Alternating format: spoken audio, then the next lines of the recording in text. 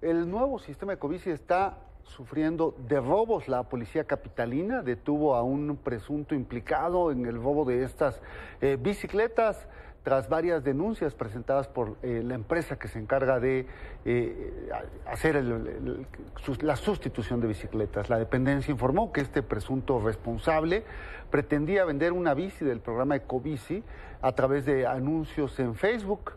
Y por lo anterior, montaron un operativo de vigilancia y lograron detener a eh, esta persona de 23 años de edad y lo trasladaron a las instalaciones de la Fiscalía Capitalina para definir su situación jurídica.